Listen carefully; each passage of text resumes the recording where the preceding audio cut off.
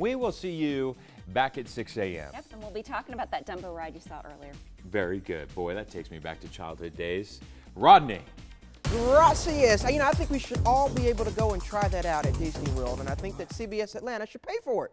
Absolutely. What- you what- and I can go take a little race. I am all that? for you. Would That's beat right. me, but I still would like to go for And free. I'm still in to favor of that. At the end, it'll show you how you did and how your car did and whether or not, you know. Hey, listen, we're down for the race. There we're always go. down for a little competition, Competition. Rodney. We're all for it. Again, free being the key in all of this, and Disney World will be a pretty good place to go because it'll be I much love warmer that. there. Trying to get work to pay for it. Yeah, than it is here. So as we take a look at Storm Track Alive, you can see rain is starting to move into the region as we talked about a little bit earlier. Showers are moving into the eastern portions of Atlanta, actually away from Atlanta now, moving more toward Lawrenceville. As we head further toward the north and west, this is where some of the heavier rain is falling. Just west of Rome, you can see here a pocket of heavy rain indicated in that red there that's drifting toward the north and east. So for those of you in Rome and Calhoun, be on the lookout for a pocket of heavy rain.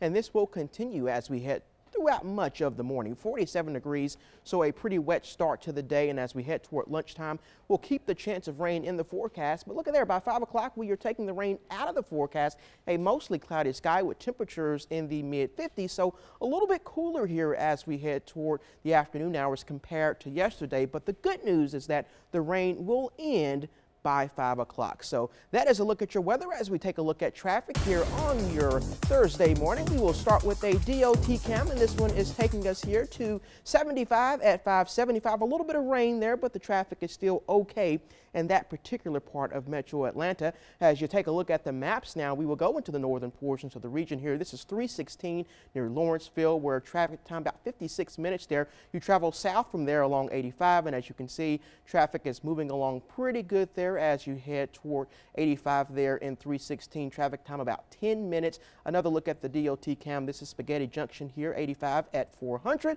where traffic also appears to be pretty good. More weather and traffic coming up in 10 minutes.